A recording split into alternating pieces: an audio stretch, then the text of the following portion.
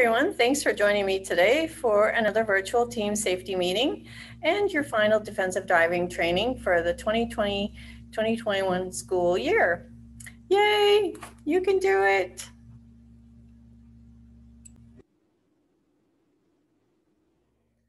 All right, sit back, relax, uh, grab your popcorn, and watch the show. All right, so welcome to the summer team safety meeting. Hello, summer. Uh, from the spring team safety meeting, I'd like to congratulate the high achievers for uh, perfect scores, Sylvia, Diane, Barbara, Melissa, Bant, Gertrude, Chad, Anne-Marie, Terry, Evelina, Jim, Doug, Val, Lorraine, Lynn, Susan, Peter V, Guy, and Jack. Way to go, guys. All right, so our defensive driving topics for today are railroad crossings, bus evacuation, emergency training, and accident training. So we'll start with the railroad crossings. Railroad crossing procedures are one of the most important safety issues for school bus drivers. Although it is one of the safest vehicles on the highway, a school bus does not have a chance when involved in a collision with a train. Because of its size and weight, a train cannot stop quickly. A train hitting a school bus is one of the worst accidents imaginable. Follow the safe practices and reduce this risk to almost zero. Stop at every crossing, every time, and only cross when you know it is clear to do so.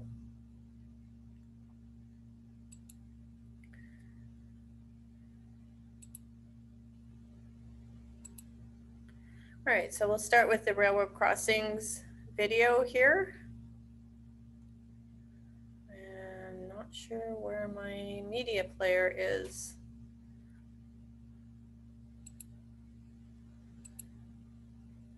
Okay, here we go. Our school bus safety topic for today is railroad crossing. Did you know that a train traveling 60 miles an hour takes more than a mile and a half to stop? For someone operating a train, the average distance they can see ahead of them is less than a half mile. So by the time they see you, it's too late to stop. When a train hits a bus, it has about the same overwhelming power as that same bus hitting a soda can. The consequences of a train colliding with a school bus full of children is too horrific to even imagine. So being safe around railroad crossings is literally a matter of life or death. In this program, we'll talk about what you need to know to safely take a school bus full of children across railroad tracks. Before we begin, discuss how you think a school bus driver should safely cross the tracks. Okay, we'll just skip that. We're going to teach you seven steps to safely crossing railroad tracks. First, be prepared to stop. Second, quiet the bus. Third, always stop between 15 and 50 feet in front of every railroad track. Fourth, look and listen. Fifth, look ahead. Sixth, double check. And seventh, cross completely. Let's take each step one by one. The first step is preparing to stop. When you see the advanced warning sign on the road, that's your signal to start slowing down and preparing to stop. Let other motorists know you're stopping by tapping on the brakes and turning on your hazard lights. The second step is to quiet the bus. Turn off the radio and the fans. Let the kids know you need quiet by flashing the dome lights or by making an announcement. It helps if you establish a railroad crossing procedure with the students at the beginning of the school year. The third step is to stop the bus. School bus operators are required to stop at all rail crossings. That means that regardless of whether or not your bus is loaded with students or whether you're at a controlled or uncontrolled crossing, you must stop the bus every time. Be sure to stop no less than 15 feet and no more than 50 feet from the tracks or at the stop line. The fourth step is to look and listen. Open the driver's side window and service door to see and hear better. Look as far down the tracks as you can in both directions. If you see or hear a train approaching, wait for the train to pass. Apply your parking brake while waiting so that you won't move or be shoved onto the path of the train if struck from behind. Your eyes can play tricks on you when it comes to trains on railroad tracks. Our limited depth perception at greater distances makes it easy to misjudge the speed and distance of a large train. Even though it may look like it's moving slowly, it could be moving at a deadly speed. Never, ever try to beat a train over the tracks. The fifth step is to look ahead. School buses are 40 feet long or longer, so be sure you have plenty of room to clear the tracks. For instance, you may need to wait until traffic pulls forward or wait for a nearby traffic light to turn green. Never, I repeat, never drive onto the tracks unless there is at least enough space for two bus lanes beyond the tracks. Even when traffic seems to be moving smoothly, don't make a move until the two bus length clearance is reached. The sixth step is to double check. Look down the tracks in both directions again right before you cross to be sure there is still no train coming. You may need to rock and roll in your seat as you look. That way, you can see around objects that may be obstructing your view, such as your mirrors or the railroad crossing sign. The seventh step is to cross completely. If you're driving a manual shift, do not shift gears and risk stalling on the tracks. If you must stop beyond the crossing, be sure to leave at least 15 feet between the back of the bus and the tracks. Remember, a train's overhang is at least three feet wider than the tracks. So before you go anywhere, you should know the length of your bus like the back of your hand. If necessary, you can use your backing reference point to judge where the rear of your bus is in relation to the tracks.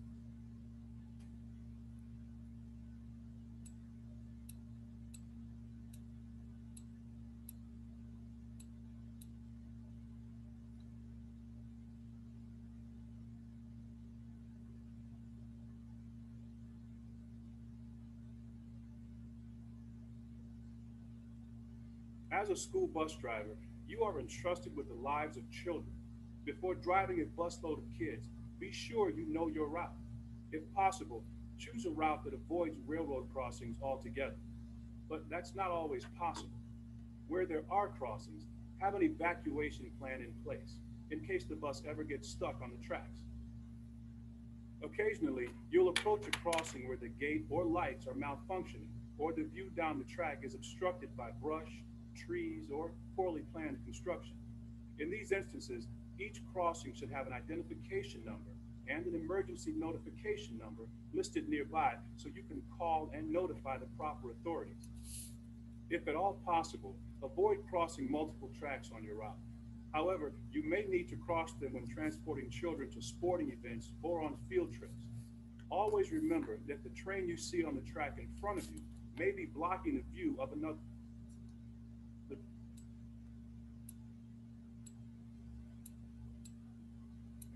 pay careful attention to the other tracks and make sure that they are clear too.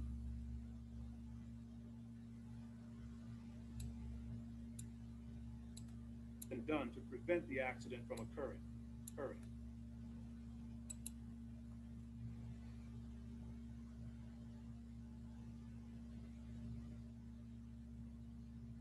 In this first case, the driver stopped, looked, and listened, but then a student came up and asked him a question, distracting him momentarily.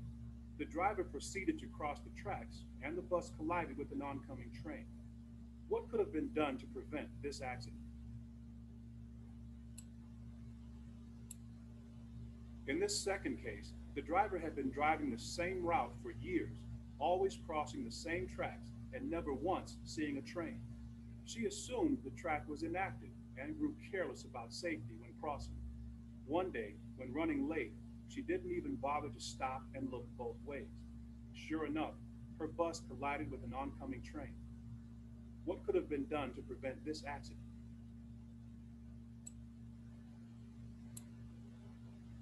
In this third case, there was a traffic light a few hundred feet beyond the track, and the light was red. Cars were backed up, and when the school bus crossed the track and stopped behind the cars, it still had four feet of the bus overhanging the track. The train hit the rear of the bus at full speed, and seven children were killed. What could have been done to prevent this accident? Now let's briefly review the seven steps to safety at crossings. The moment you see the advanced warning sign, begin to slow down, alerting other motorists by tapping your brakes and putting on your hazards. Quiet the bus by flashing the dome lights or making an announcement. Stop between 15 and 50 feet from the tracks. Open your window and service door and look down the tracks in both directions as you listen for a train. Look ahead to be sure there is room for your entire bus to clear the tracks. Double check by looking up and down the tracks again. And finally, cross the tracks completely without switching gears and without stopping until you've put at least 15 feet between the rear of the bus and the track. Those are the seven steps to safely crossing railroad tracks. But before you try them with a busload of children, be sure you know about the crossings on your route. Check for anything that may obstruct your view of the tracks. Keep alert for malfunctioning crossing gates or lights and plan an evacuation strategy in case your bus ever gets stuck on the tracks. We've gone over a lot of information on railroad crossings, but now we're going to boil it down to something simple and easy to remember. When you're approaching railroad tracks, always expect a train. It's as simple as that. No matter what time of day or night, whether your bus is full or empty, whether the gates are up or down, treat every crossing as if there is a train coming. Always expect a train. Thank you for your participation in today's safety course. And remember, as a school bus driver, your community has entrusted you with the lives of their children. You must take every precaution to protect them.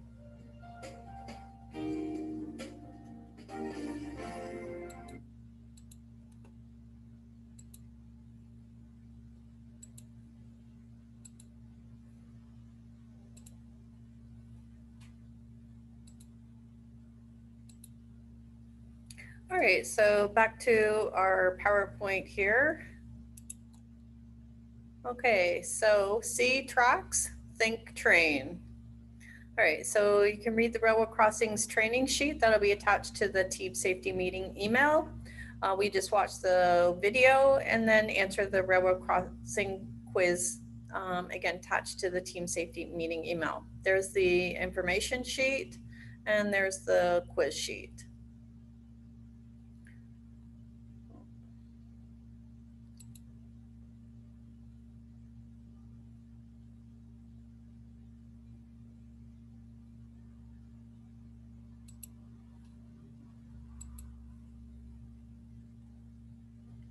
All right, so bus evacuations.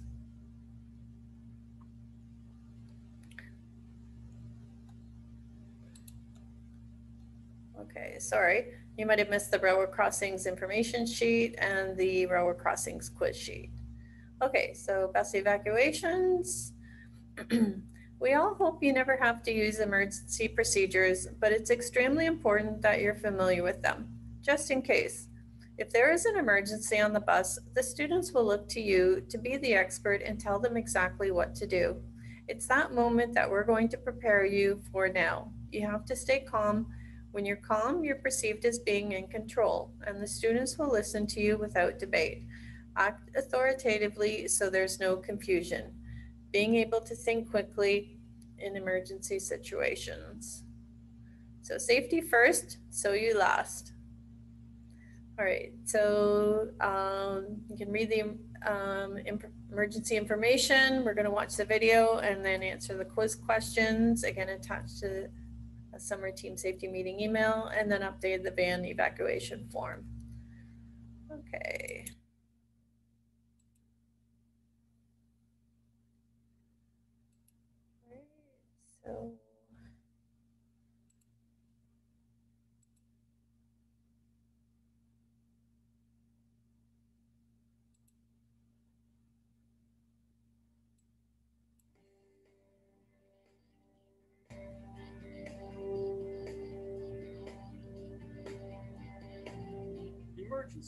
Are something we rarely talk about, perhaps because they're so rare, and that's a good thing. But it's important to be prepared for emergencies, and that's the topic of this course. During an emergency, time is precious, and you may only have a few seconds to make some very critical decisions. With that in mind, it's extremely important to know what to do before an emergency occurs. That way, if something does happen, you'll be prepared to take action. One of your first actions may be to evacuate the bus. To ensure the safety of the children on your bus, you need to have a well-rehearsed emergency evacuation plan in place, and then hope you'll never have to use it. Emergency. Well, if your bus breaks down or you have a minor collision, the students should remain on the bus. In fact, in most situations, they're far safer inside the bus rather than outside. However, there are three reasons to evacuate the bus. First, if the bus is on fire or you see smoke. Secondly, if the bus is in water or in danger of going in the water. And finally, if the bus is in a dangerous position on the roadway where it could be struck by another vehicle or tip over. In the event of a fire or the danger of fire, the bus should be stopped and evacuated immediately. Students should be taken at least 100 feet away from the bus and stay there until you instruct them otherwise. Remember to count the students as they exit the vehicle. Once they're all assembled in a safe place, count them again. Anytime the bus is in an unsafe position, or when the danger to the children is clearly greater inside the bus rather than outside, it should be evacuated. For example, maybe you broke down in the middle of the road along a blind curve, or perhaps you stalled over railroad tracks. Sometimes, even if you've pulled off the road, the actual position of the bus may still be too dangerous to leave the children on board. For example, let's say you pull off the road because the engine is stalled, but you end up on a soft shoulder or dangerously close to a steep drop off or one. Your primary concern is always the safety of the children. In the event of an emergency, take every step to keep the students safe. And always remember to count the students to be sure you haven't forgotten anyone.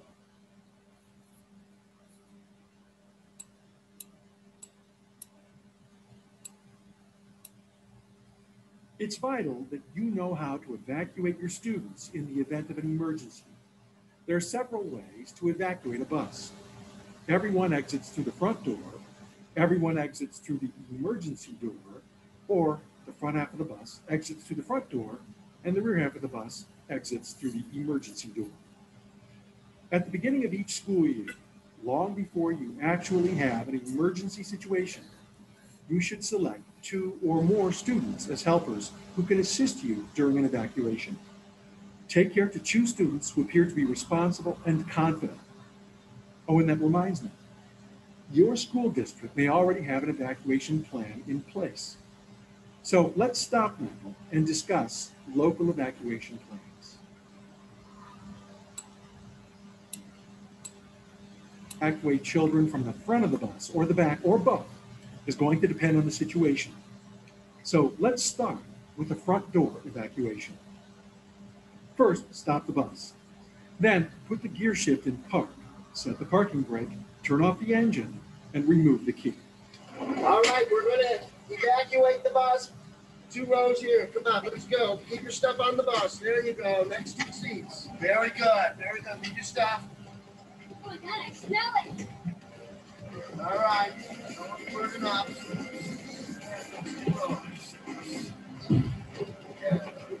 Very good.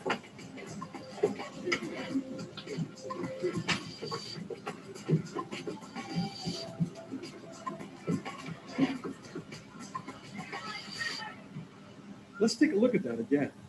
There's a few things I want you to notice. This is important. The driver in this situation remained calm. Don't make a bad situation worse by getting too excited. Next, notice how the driver stands behind the first set of occupied seats and turns to face the front of the bus. He indicates to the passengers to walk, not run, and to use the handrail. While evacuating the students, he continues to count them. He does this all the way to the rear of the bus, evacuating the students in an orderly, safe manner. When the last seat is empty, he walks to the front of the bus, checking to be sure that everyone is out of the bus. After he leaves the bus and meets the students 100 feet away from the site, he counts them again to make sure they're all there. They remain there until it's determined that it's safe to move. Let's stop now and discuss any questions you might have about evacuating students through the front door.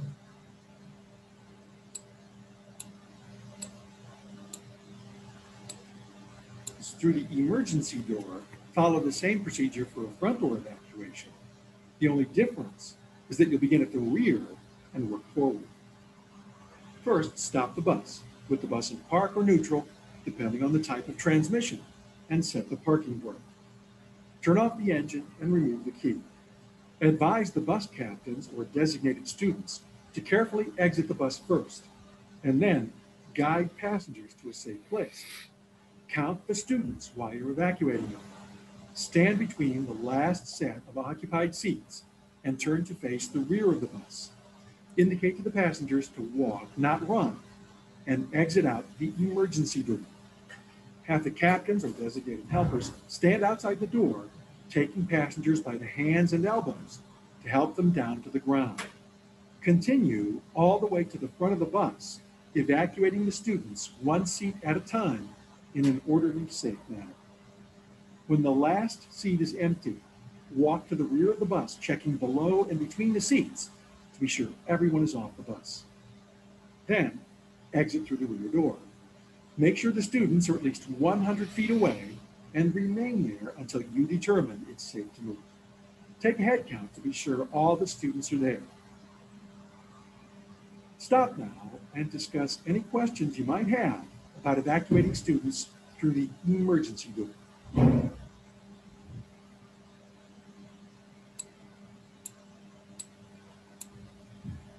If you drive a special education,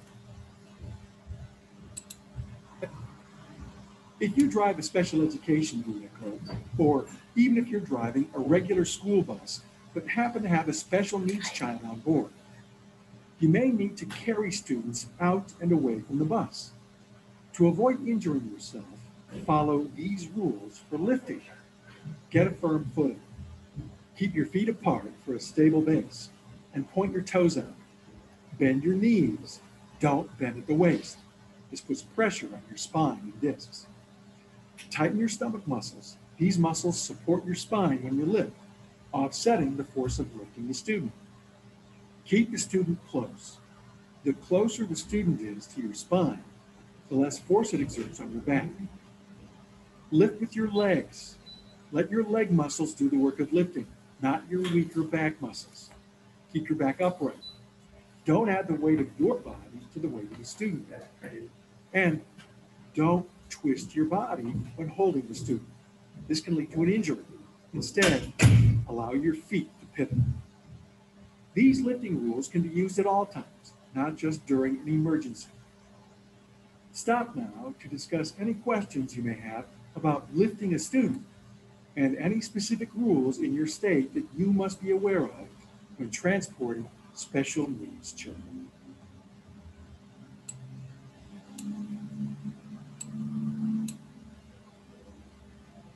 We've covered front door evacuations and emergency door evacuations. But you may encounter an emergency situation where time is of the essence and you need to evacuate the bus from both ends. An example would be if your bus stalls on a railroad track and a train is coming. In these extreme cases, begin by following the same procedures for securing the bus. Next, have your helpers open the emergency door and help with evacuation of the rear half of the bus while you evacuate the front. As you move from row to row, make sure there are no stragglers. Then, when you reach the middle, the students behind you should have already exited, and you can quickly check the remaining seats before you yourself exit through the back. Now, the procedures we just reviewed are meant to familiarize you with the general guidelines. After all, no two emergency situations are the same. For example, you may be involved in a major accident or even have to evacuate an overturned bus. But remember, you are responsible for the safety of your students. Worse yet, you too could be injured or in need of assistance. That's why you have to have regular student leaders available who know how to turn off the ignition switch, set the emergency brake, summon help, open and close doors, help small children off the bus, and use flags and flares. It all begins with preparation. You should hold emergency drills at least twice a year, depending on your state's requirements. Before we leave, let's recap the most important issues regarding emergency evacuations. The primary concern is the safety of the passengers. If there is no threat to the passengers on the bus, they should stay on the bus. Always stay calm and direct the students clearly and calmly. Practice emergency drills at least twice a year. In an emergency, being prepared and having a plan in place is a crucial first step towards securing the safety of the children in your charge. So be prepared, be calm, take action, and stay safe.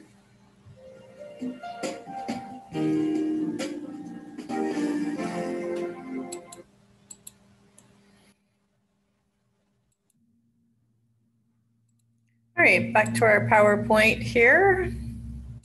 Bring up our slideshow. All right, so there's the emergency evacuation information sheet that you can read and the quiz will follow. And then if you need to, update the van evacuation form. All right, on to emergency training. The majority of Canada is at risk for severe weather, which can cause dangerous and sometimes life-threatening conditions. Tornadoes, hurricane force winds, torrential rains, flooding, and lightning can all wreak havoc on our daily bus schedules. Preparing before a disaster strikes and knowing what to do during and after a storm will help ensure you and your students greatly reduce your risk for injury and damage to your vehicle. All right, stay alert, stay safe. All right, so you can read the Campeau Emergency Procedure Extreme Weather Information Sheet um, and for the emergency qu- training quiz, all attached to the summer team safety meeting email, or copies are available in the office. And there's the emergency training sheet, reading sheet, and the emergency training quiz. All right, on to accident training. We hope it never happens, but on occasion it does. The event that you find yourself involved in an accident with the school bus, the procedure that you need to follow is very specific. The legal stakes are much higher and the procedure is much more structured than it is for a car accident. To protect yourself, it's critical that you act like the professional you are in these situations. Safety is the key to accident free. All right, so there's going to be some reading. We're going to watch a video and then you can answer the questions. All right, so we'll go back to our uh, here.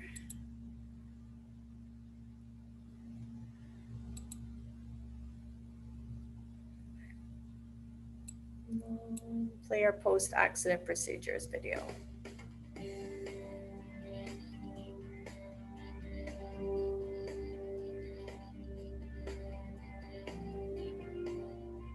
Wow, being involved in an accident is so stressful. And as a school bus driver, that anxiety we feel is worsened by our sense of responsibility to transport the children safely. We may find that we're flooded with very different emotions. Concern, of course, about everyone's safety and any damage to the bus, but also anger at the other driver and fear about what impact the accident's going to have on our driving record and our job. All these feelings make it very hard to think clearly and respond appropriately. Oh, and if there are injuries, the stress level goes through the roof just when a clear head and decisive actions are the most important. A school bus driver's number one priority is safety, and this program is designed to make you aware of post accident procedures. By taking the proper steps, you can help ensure your safety and the safety of your passengers in an accident situation. Today, we're going to teach you those essential steps. If you're involved in an accident, is to focus on the immediate safety of the passengers and yourself. If there's any immediate risk, evacuate the bus. Reasons to evacuate the bus are if the bus is on fire or a fire is suspected, if the bus is in the water or in danger of going in the water, or if the bus is in a dangerous position in the roadway where it could be struck by another vehicle or tip over. If any of these conditions exist, evacuate the students as quickly as possible to a safe place. Students should leave belongings behind and must not be permitted to re-enter the vehicle for any reason until the emergency is over. Before leaving the vehicle, make one final check for stragglers. After the children have been evacuated, it's your job to ensure they're all accounted for. Once you're all safe outside of the bus, keep all of the children together and far enough out of harm's way of the bus or other motorists until help arrives. A minimum of 100 feet is recommended. Keep the children calm by talking to them and explaining what's happened. Tell them help will be along shortly and praise them for their cooperation in a safe evacuation. If the bus does need to be evacuated, then you should secure the vehicle and your passengers. If the bus can be moved and it makes sense to do so, move it to the side of the road immediately. If the bus is not badly damaged and is in no danger of being struck by other vehicles, keep the children on the bus. Children are actually safer if left on the bus in most situations. Quickly check for any injuries. Ask your passengers if everyone is okay. Don't ask if anyone is hurt. This may scare the children. Even though this is an accident situation, you want to remain positive and stay calm. If you're calm, your passengers will remain calm. After the bus is secured, set out warning devices. These devices warn other motorists to proceed with caution, which will help prevent additional accidents. Now we're going to give you some practice in assessing the situation. A few scenarios will be presented to you. Your job is to identify the steps you would take to secure the bus and your passengers.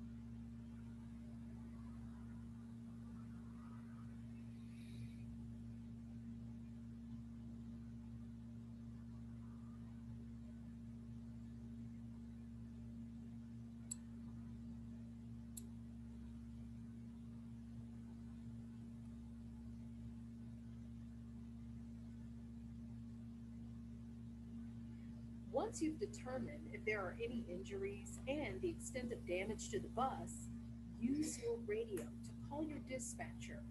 If you don't have a radio, use your cell phone or ask someone at the scene to call. Give the dispatcher the following information bus number, route number, school, location,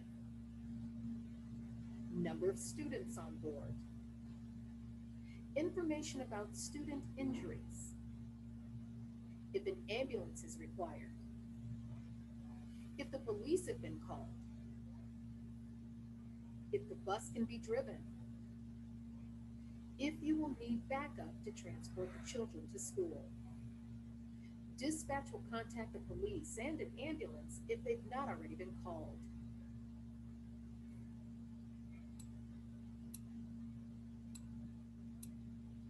After you have secured the bus and your passengers and have contacted dispatch, you will need to exchange information with the other parties involved in the accident. However, in this situation, less is more.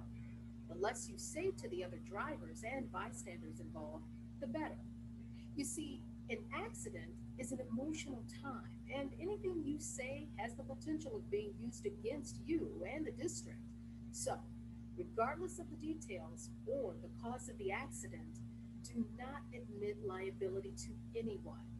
It's in our nature to feel apologetic when an accident happens, and it's good to feel sad. But by saying you're sorry, you could be admitting guilt and leaving yourself wide open to liability. Only give factual information about the accident to the police and your management. At the scene, refrain from talking to anyone about the accident other than to exchange the following information.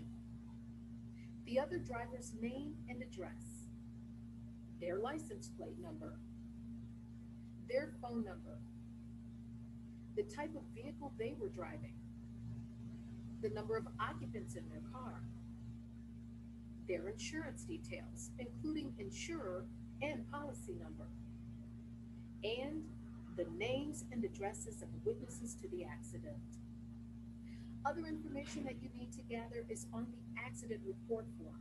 There should be a copy of this in the vehicle. Part of the form is a student list. Be sure you complete this list. It's important. You should complete the form as thoroughly as possible at the scene while the information is fresh in your mind. When you return to your facility, you'll probably be asked complete other required paperwork. Remember, only give accident facts to police and your management. Today, you've learned the steps you need to take in the event you're involved in an accident. We hope you're never in this situation, but if you are, remember first, secure your vehicle and your passengers. This requires you to check for injuries, decide whether to move the bus, and whether or not to evacuate the children. You should also set out warning devices for other drivers. Next, use your radio to call dispatch. If you don't have a radio, ask someone from the scene to call for you. Lastly, do not discuss the accident with anyone other than the police and your school district officials. And when you do, give only the accident facts. Don't speculate about what you think happened and don't accept or place blame. At an accident scene, as always, the student's safety is our top priority. Thank you very much for your commitment to safety.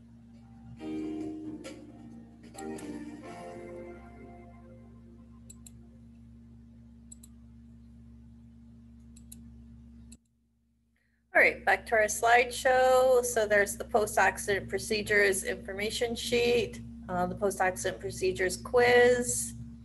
Thank you for your commitment to safety. You are all super special bus drivers. Enjoy the summer, stay safe, stay alive, and go Team Campeau.